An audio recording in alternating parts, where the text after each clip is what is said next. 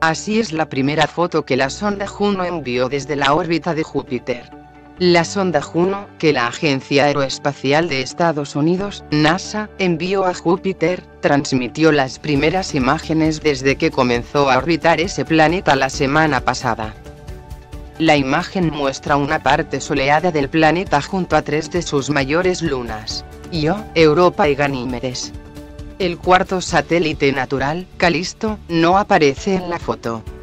En estos momentos, Juno se aleja de Júpiter mientras recorre un largo arco, pero volverá en agosto cuando podrá tomar mejores imágenes con su JunoCam.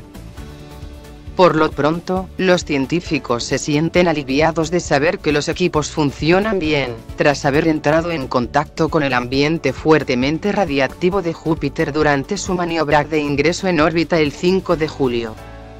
El equipo de la misión ahora verifica el funcionamiento de todos los instrumentos de la nave para asegurar su correcto funcionamiento. Deberán realizar previamente tareas de calibración de los instrumentos, antes de comenzar el periodo de exploración del planeta en octubre. A mediados de ese mes, encenderán un motor para colocar la sonda en un ajustado recorrido de 14 días orbitando alrededor del planeta. Entonces, vendrán unas buenas 30 vueltas en torno al enorme planeta.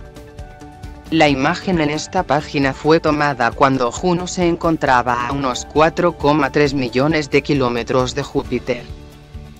En la fotografía se notan las coloreadas franjas atmosféricas de gas. También se puede apreciar la famosa Gran Manchas Roja, la enorme tormenta que ha golpeado el planeta durante centenares de años. El objetivo de Juno durante los próximos 18 meses será intentar entender los secretos de Júpiter.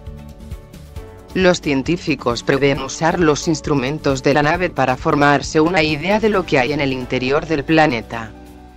Ellos creen que la estructura y la química de su interior esconden las claves para comprender cómo se formó este gigante hace unos 4.500 millones de años.